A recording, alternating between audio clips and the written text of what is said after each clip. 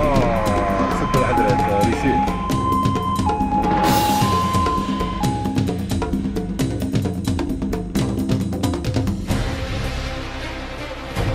أعوان الحماية المدنية أو كما يسميهم البعض ملائكة الأرض في مواجهة دائمة ومستمرة مع الموت من أجل إنقاذ أرواح الضحايا يركبون المخاطر ليلا ونهارا من أجل الحفاظ على حياة الآخرين دون أن ننسى أولئك الذين وقعوا شهداء أداء واجبهم المهني. الهدف تاعنا من المناورات الميدانية اللي نعيشها عبر الولايات الداخلية الغرض منها تحسيس المواطن الكريم لخطورة السباحة في في السدود أيضا في الأودية في البرك.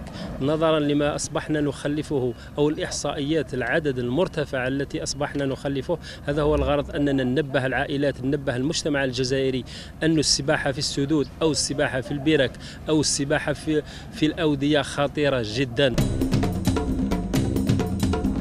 السدود والأودية بالمدية تحولت إلى محطات للاستجمام والترفيه لدى شباب المنطقة بما فيهم أطفالها.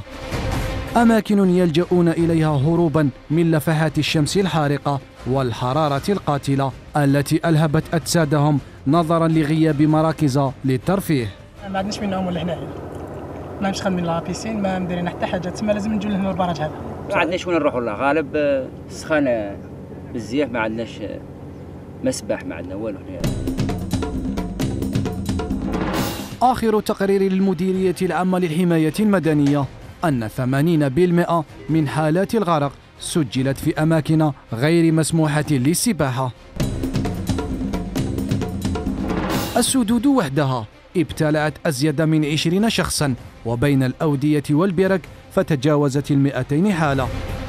مما استدعى حالة استنفار قصوى لأعوان الحماية المدنية والقيام بعدة مناورات تدريبية للبقاء دائما على أهبة الاستعداد.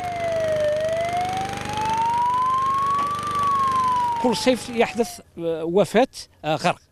هذا لهذا الغرض آه، ارتأت المديرية العامة للسد برفقة آه، الوكالة الوطنية للسدود رفقة مديرية السدود بفتح أبواب مفتوحة قصد تحسيس هذا المواطنين. وضع خطة آه، أمنية عاجلة لوضع حد لهذه الآفة. هذه السنة سجلنا 14 حالة إلى غاية اليوم. آه، تم انتشال آه، آه، 11 جثة من بينهم سبعة أطفال إضافة إلى إنقاذ ثلاث أشخاص. يبقى أعوان الحماية المدنية قائمين بدورهم للحد من خطر الموت ولكن يبقى الدور الأول للآباء والأمهات لتوعية أطفالهم بمخاطر السباحة في الأماكن الغير مسموحة.